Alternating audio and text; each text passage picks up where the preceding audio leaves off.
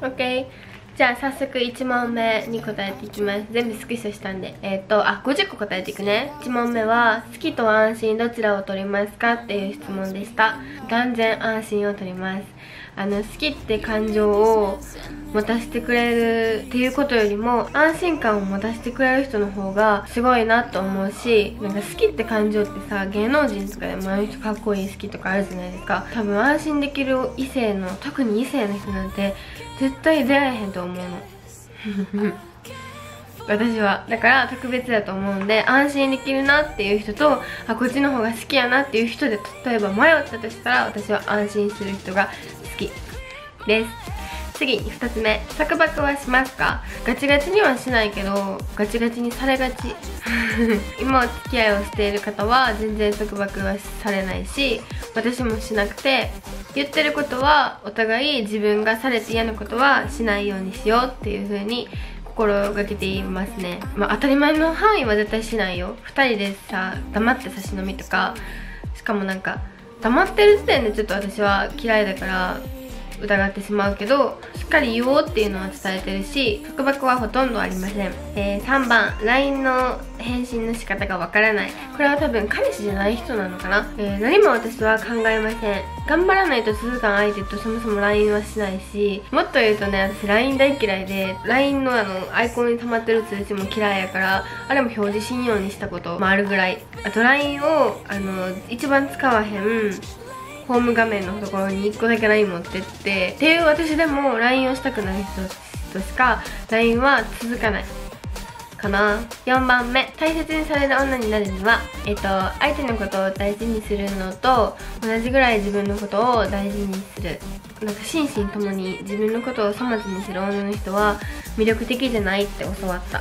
まず自分のことを同じぐらい大事にします。はい5番目。彼氏さんとどのくらいの頻度で会いますか？ベストの会う頻度はうーん週に12回を会います。ベストタイミングはそろそろ会いたいなってちょっと思った頃に会えるぐらいかな。毎日会いたいけどな。6番目。相手の学歴気にしますか？これなんかめっちゃ多かったんですけどなんか学歴とかレレッテルとかなんかステータスとか気にする女の子に聞きたいんやけど自分そんな完璧なんだ思っちゃう自分がそんな別普通の大学やから偏差値的にも。気にする立場じゃないしそんな私完璧じゃないよって。7番目付き合う上で相手のどこを重視しますか？何に幸せを感じるか？楽しさを感じるかとか金銭感覚？あと何やろ？もうほんまにフィーリングですね。8番目。忘れられなかった恋愛はありますか？ない。特別やったなって思うとかはあるけど忘れられたから未練がもうないから今の人とも付き合えてるしなんか付き合ってる間は彼氏にこう100%にいいことでもあるけど悪いことでもあるって自覚してんねんけどってなる女やからさなんか何かがきっかけで別れてるんよ毎回。こう積もったこととか浮気とか裏切られるとかそういうので別れてるからそれまで100%やからやりきってんねんよそのことされた時には。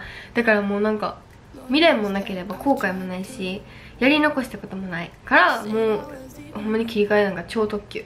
はい9番目彼氏が喫煙者でも気になりませんか？気にならへんって言ったら嘘になるけどシンプル臭いし体にも良くないしなんかタバコ吸ってる人が金欠とか言ってたらアホちゃうと思っちゃうぐらいなんかもったいないと思う。タバコってほんま自分の意思でしかやめることできひんから自分でやめてほしいとお願いするのはどうせやめんからやめさすこともしません。はい10番親から反対される恋愛どう思いますか？やっぱりどう周りに言われても好きって思える人は素晴らしいと思うねんけどやっぱり自分よりも20年もぐらい長く生きてる。でさやっぱいろんな経験もしてるしさ私たちより多分見る目もさあると思うからあながち間違ってないと思うしほんまに言えるのは私に意地悪をして反対してるとかじゃないことは分かった方がいいと思う、まあ、一意見として絶対親の意見は取り入れます。11番。好きになった人に彼女がいた時の諦め方を知りたいです。なんかその経験がなくて自分のコミュニティ内の人の元彼とか私ほんまに付き合えへんのね。だからよくわかんないけどただタイミングが悪かったなって思うしかないと思います。12番目どうやって遠距離恋愛を乗り越えたらいいですか？私は遠距離恋愛できないので。でもあの乗り越えられる2人は何があっても多分乗り越えれるし乗り越えへん人は何もなくてもきっと乗り越えられへんと思うから性格遠距離とかは。多分あると思うけどほんまに無理な2人は何も何をしても無理やしね。疑うこともやめて信じることもやめたらちょっと気は楽になるのかもしれない。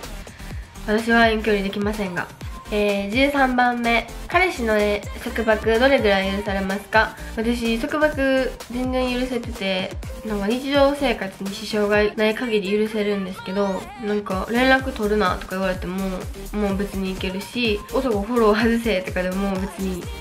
大事だと思える男友達は彼氏に紹介します。14番。付き合ってから始まる好きはあると思いますか？私はないと思ってます。あの付き合ってみてから好きになれるかもしれへんと思って付き合ったことあったけど経験上全然そういうことそういう発展とかなかったしなんかこれあるって思ってる人って多分付き合ってる時にもう好きやねんで。好きやけどそれ気づいてないだけ。って思っちゃうぐらい私はない。15番目。2人の男性で迷った時どうやって選びますか？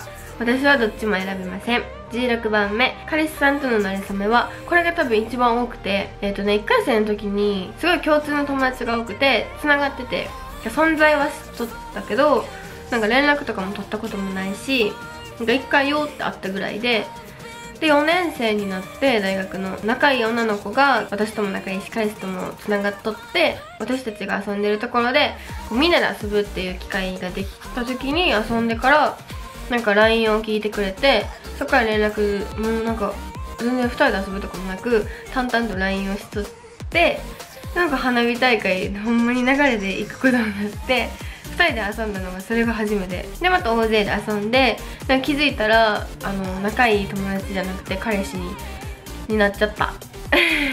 どっちもなんか恋愛対象で見てたとか無意識では見てたかもしれんけど全然なんか気になるとかなく気づいたらほんまになんかいいなって思ったんかもしれん。っていう新しいパターンでした。はい17番元カノと連絡取る彼氏どう思いますか？ダサーいって思う。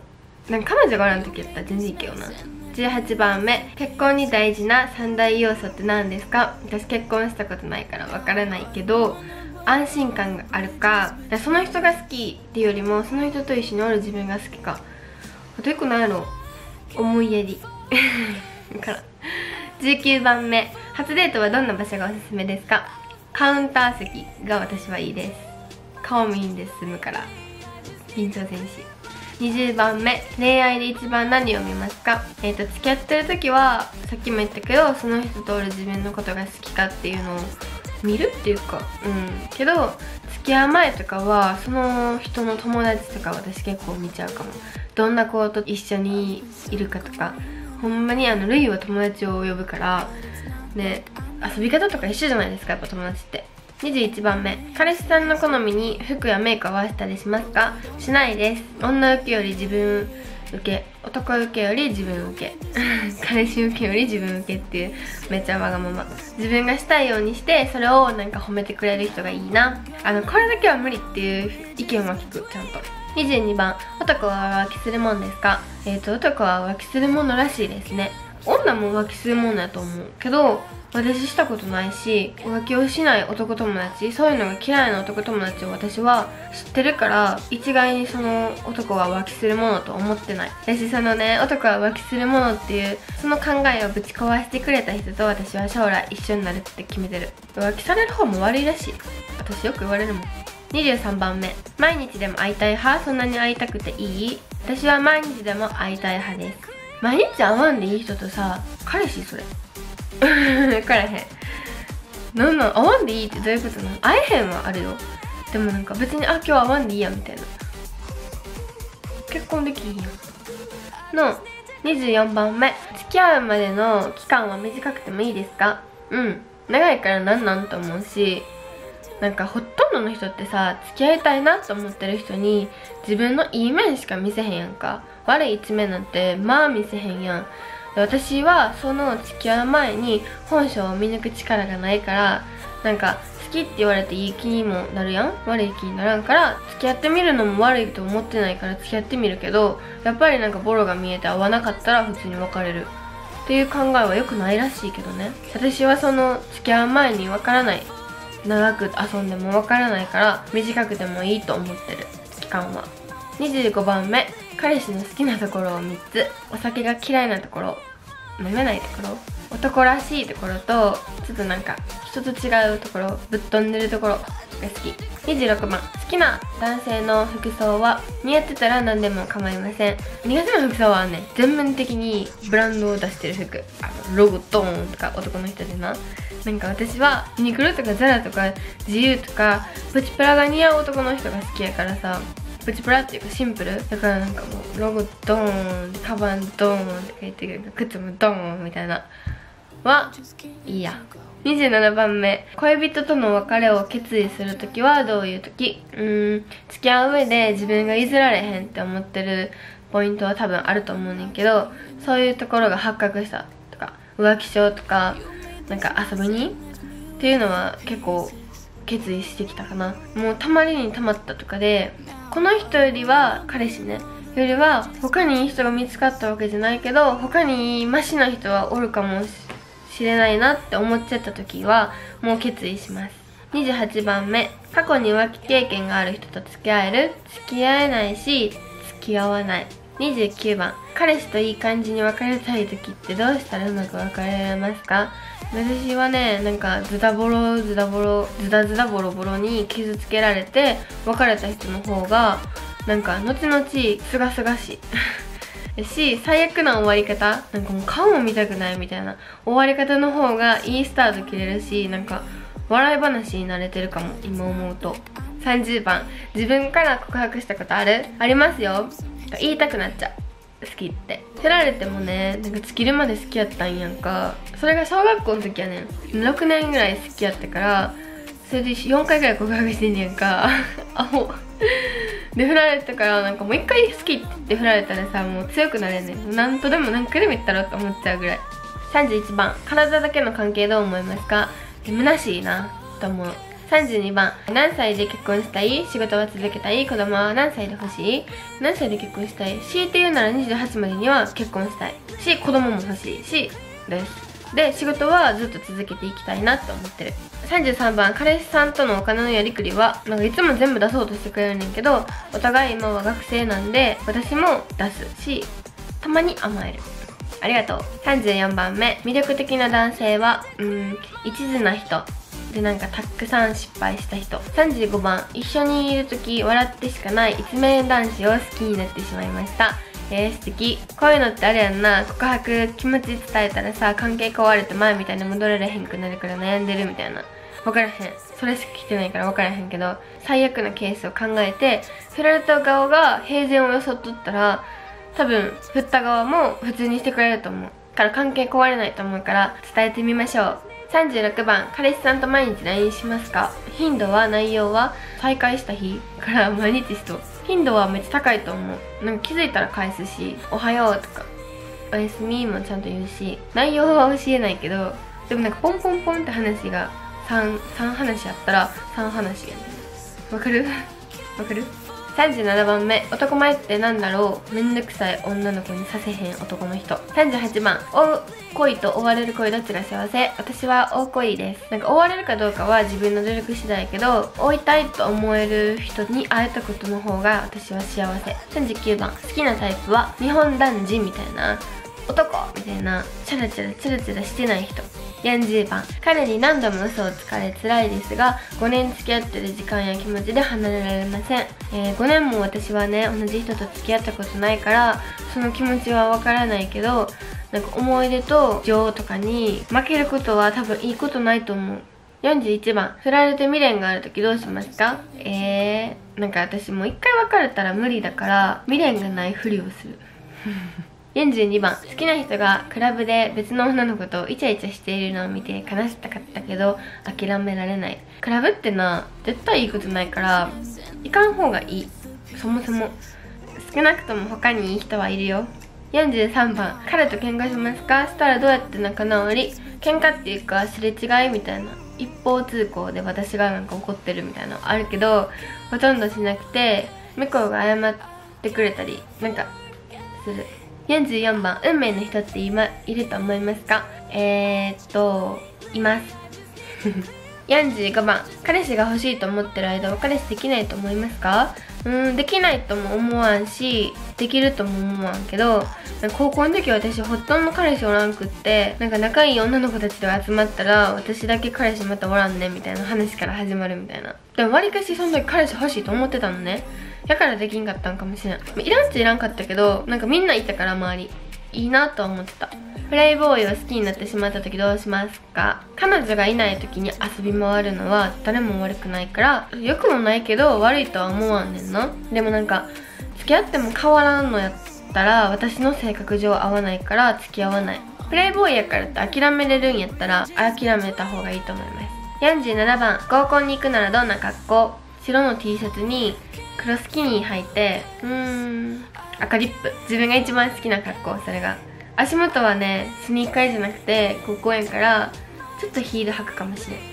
ブーツみたいな。分からんけど。48番この人のこと好きなのかなと思う瞬間は何も考えないで頑張らなくていいたわいのない連絡が続いた時返してるってことやからこの私が LINE を。あなんか好きなんかもって思っちゃう49番彼氏の元カノ気になりますか？付き合う人によります。でもなんか全然気にさせへんというか気にならんで済んだ人もおるけどなんか元カノ気になる時ってなんか女の勘でなんかある時やん。大抵経験上。はい50番。付き合っていく上で大切にしていることは何ですか？一個一個こう言わんでも言うほどでもないちっちゃなことが積み重なって積み重なってここがキャパやってするやんか。でまたちっちゃいことが積み重なった時に私は爆発しちゃうから我慢をしない。お互いその時は目をつぶらなあかんこともあると思うけどたかが彼氏やから我慢じゃなくてしない。なんか自分の身を削る削る恋愛はしない。ってことかな。あんま考えたことないけど素直になることだと思います。はいこれで50個終わった。いかがだったでしょうか。すごいなんかバサバサ言っちゃったけど私の独断の偏見の塊でした。はい。でまた Q&A ね今まで多分ね普通の私のことについてと前は学生生活のことについてで今回恋愛編をしたのでまた次何編があるやろ分からへんけどもし何かしてほしいことがあれば教えてください。では最後まで見ていただいてありがとうございました。チャンネル登録といいねとコメントをよろしくお願いします。次の動画も楽しみにしててください。バイバーイ。